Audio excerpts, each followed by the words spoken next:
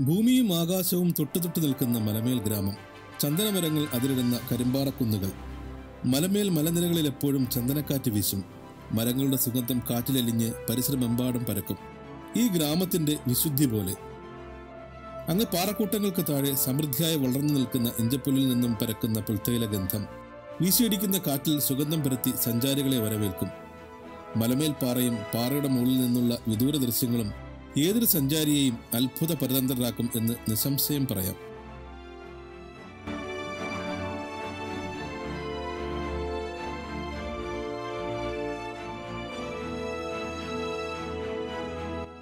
കരിങ്കൽ പാളികൾ പാകിയ കല്ലുകളിലൂടെ നടന്നു ചെല്ലുന്നത് ഒരു ക്ഷേത്രത്തിന്റെ മുന്നിലേക്കാണ്. ത്രിമൂർത്തികളുടെ സംഗമസ്ഥാനമെന്ന നിലയിൽ പ്രസിദ്ധ ശങ്കരനാരായണ ക്ഷേത്രം മലമേൽപ്പാറയിലാണ് സ്ഥിതി ചെയ്യുന്നത്. നൂറ്റാണ്ടുകൾ പഴക്കമുള്ള ഈ ക്ഷേത്രചൈതന്യം തന്നെയാണ് മലമേൽപ്പാറയെ ഇത്രയും പ്രശസ്തിയുടെ കൊടുമുടിയിൽ എത്തിച്ചതെന്ന് ഇവിടുത്തെ ഗ്രാമവാസികൾ വിശ്വസിക്കുന്നു. തിരുവിതാംകൂർ ദേവസ്വം ബോർഡിന് കീഴെയുള്ള ക്ഷേത്രമാണ് മലമേൽ ശങ്കരനാരായണ ക്ഷേത്രം. കിഴക്കോട്ട് ശിവനും പടിഞ്ഞാറോട്ട് വിഷ്ണുവും പടിഞ്ഞാറേ മച്ചിൽ ബ്രഹ്മാവും സ്ഥിതി ചെയ്യുന്നു. ത്രിമൂർത്തികളുടെ സംഗമസ്ഥാനമാണ് ഈ ക്ഷേത്രമെന്നാണ് വിശ്വാസം. കൊല്ലം ജില്ലയിലെ ഇടമുളക്കൽ പഞ്ചായത്തിൽ തടിക്കാട് ജംഗ്ഷനിൽ നിന്നും ഒരു കിലോമീറ്ററും കൊട്ടാരക്കര വാളകം മേഴ്സി ഹോസ്പിറ്റൽ ജംഗ്ഷനിൽ നിന്ന് നാല് കിലോമീറ്റർ ദൂരവുമാണ് മലമേൽ എന്ന മനോഹര ഗ്രാമത്തിലേക്കുള്ളത്. സംസ്ഥാന വിനോദസഞ്ചാര വകുപ്പ് പ്രകൃതി സൗഹൃദ ടൂറിസം മേഖലയായി പ്രഖ്യാപിച്ച മലമേൽ വിനോദസഞ്ചാര വികസനത്തിന് ഏറെ പ്രാധാന്യമുള്ള കിഴക്കൻ മേഖലയിലെ ഏറ്റവും പ്രകൃതിരമണീയമായ പ്രദേശങ്ങളിൽ ഒന്നാണ്. ഐതിഹ്യ പ്രാധാന്യം കൊണ്ടും ദൃശ്യചാരുത കൊണ്ടും ചരിത്രപ്പെരുമ കൊണ്ടും ധാരാളം സഞ്ചാരികളെ ആകർഷിക്കുന്ന പ്രദേശമായി മാറിക്കഴിഞ്ഞു ഇന്ന് മലമേൽ. ഒരു കാലത്ത് പാറലോബികൾ കാർന്നു നിന്ന മലനിരകൾ. തുറന്നു തുറന്ന് നാടിന്റെ ആത്മാവ് തന്നെ കുളം തോണ്ടുമെന്നായപ്പോൾ നാടാകെ ഇളകി. നാട്ടുകാർ സമരരംഗത്തിറങ്ങി. പാറഖനനം പൂർണമായി നിലച്ചതോടെ കൊല്ലം ജില്ലയിലെ മലമേൽപ്പാറ മികച്ച ടൂറിസം സാധ്യതയാണ് ഇപ്പോൾ മുന്നോട്ട് വയ്ക്കുന്നത് എതിർപ്പിന്റെയും അവഗണനകളുടെയും ചുവപ്പ് നാടകളുടെയും കടമ്പകൾ കടന്നാണ് മലമേൽ എക്കോ ടൂറിസം ഇന്ന് ഈ കാണും വിധം സാധ്യമായത്. നാട്ടുകാരുടെ ശക്തമായ പിന്തുണയും സഹകരണവും വികസന വിരോധികളോടുള്ള കൂട്ടായ ചെറുത്തുനിൽപ്പും ഈ മനോഹര ടൂറിസം പ്രോജക്റ്റ് കുതിച്ചുയരാനുള്ള ഊന്നുവടികളായി ജീവവായുവായി. ഇന്ന് ഇവിടേക്ക് സഞ്ചാരികളുടെ നിലയ്ക്കാത്ത പ്രവാഹമാണ്. ഒരു എക്കോ ടൂറിസം പ്രോഡക്റ്റിന് വേണ്ട സംവിധാനങ്ങളൊക്കെ ഉണ്ട് ഇന്നിവിടെ. എക്കോ ഷോപ്പും റിഫ്രഷ്മെന്റ് സോണും എടുത്തു പറയേണ്ട ഒരു ഭാഗമാണ്. ഇക്കോ ഷോപ്പിൽ നിന്നും സുഗന്ധവ്യഞ്ജനങ്ങളും നേച്ചർ പ്രോഡക്റ്റുകളും ആയുർവേദ നാടൻ മരുന്നുകളും ലഭ്യമാണ്. ഇവിടെ എത്തുന്ന യാത്രികർക്ക് വിവിധയിനം പാറകൾ വിരുന്നൊരുക്കും. നാടുകാണിപ്പാറ നാടുകാണിയിലെ പുലിച്ചാൻ കൊച്ചു നാടുകാണിപ്പാറ അഥവാ വിമാനപ്പാറ നടപ്പാറ കുടപ്പാറ കൊമ്പുകുത്തിപ്പാറ ശങ്കൂത്തുപാറ അമ്പലപ്പാറ അഥവാ വടക്കേപ്പാറ പുല്ലകംപാറ ആയിരവല്ലിപ്പാറ ഗോളാന്തരപ്പാറ ഗുഹപ്പാറ ഇങ്ങനെ നിരവധി പേരുകളിലാണ് പാറകൾ അറിയപ്പെടുന്നത്.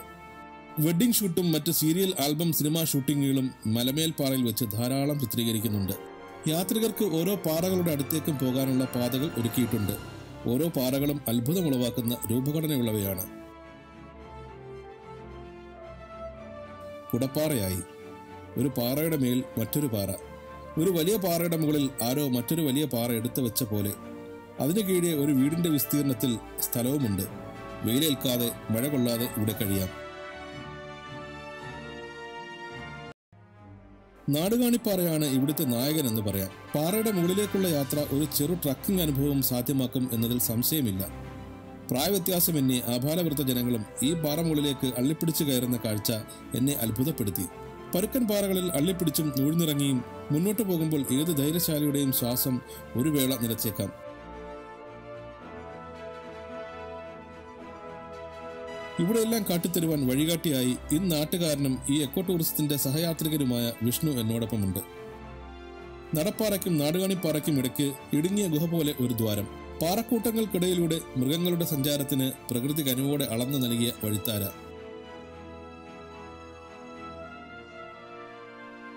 പാറക്കൂട്ടങ്ങൾ പിന്നിട്ട് നാടുകാണിപ്പാറയ്ക്ക് മുകളിലെത്തുമ്പോൾ ചന്ദനക്കാറ്റ് വീശി നമ്മെ വരവേൽക്കും.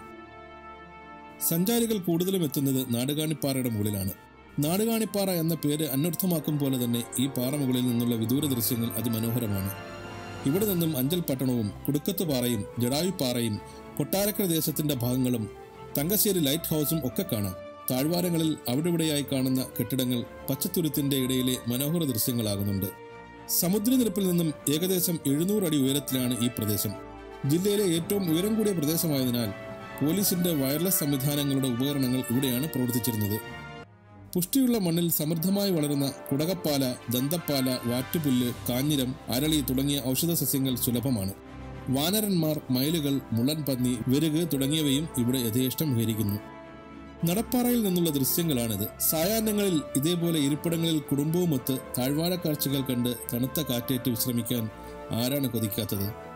വലിയ പാറകളുടെ മുകളിലേക്ക് കയറുവാൻ കഴിയാത്തവർക്ക് ഇവിടെ ഇരുന്നും വിദൂര ദൃശ്യങ്ങൾ കണ്ട് പ്രകൃതിയിൽ അലിഞ്ഞു ചേരാം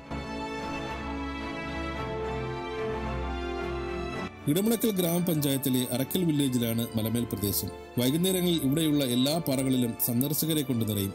നിർത്താതെ വീശിയടിക്കുന്ന തണുത്ത കാറ്റിൽ അവർ സ്വയം അലിഞ്ഞു ചേരും. മലമേൽ പാറയിലെ വൈകുന്നേരങ്ങൾ ഓരോ യാത്രികന്റെയും ജീവിതത്തിലെ അവിസ്മരണീയ നിമിഷങ്ങളായി മാറും.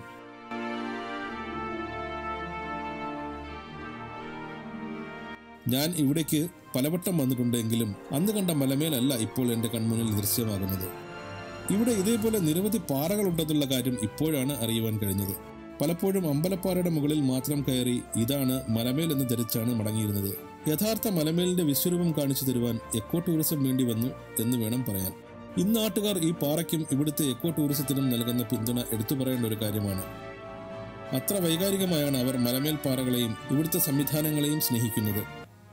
കുടുംബവും കുട്ടികളുമായി ചിലവിടാൻ പറ്റിയ അത്യപൂർവമായ കാഴ്ചകൾ കൊണ്ട് സമ്പന്നമായ മലമേൽ കേരളത്തിലെ തന്നെ ഏറ്റവും ഭംഗിയായി പരിരക്ഷിക്കുന്ന എക്കോ ടൂറിസം പ്രോജക്റ്റുകളിൽ ഒന്നാണ്. ഇരുപത് രൂപയാണ് ഇവിടുത്തെ ടിക്കറ്റ് ചാർജ് വാഹനങ്ങൾക്ക് പാർക്ക് ചെയ്യാനുള്ള സൗകര്യവുമുണ്ട്. സൂര്യൻ പടിഞ്ഞാറെ ചക്രവാളത്തിൽ താഴ്ന്നു തുടങ്ങുമ്പോൾ സഞ്ചാരികൾ ഇവിടെ നിന്നും തിരികെ യാത്രയാകും. ഒരു നല്ല വൈകുന്നേരത്തിന്റെ മറക്കാത്ത ഓർമ്മകളുമായി. ഞാൻ ഇവിടെ നിന്നും തിരികെ യാത്രയാകുമ്പോൾ എന്റെ മനസ്സിൽ ഒരു ചോദ്യം മാത്രം അവശേഷിക്കുന്നു. എന്തേ ഇവിടെ വരുവാൻ ഞാൻ ഇത്രയും വൈകിയത്? മറ്റൊരു വീഡിയോയുമായി വരും ദിവസങ്ങളിൽ കാണാം. Thank for watching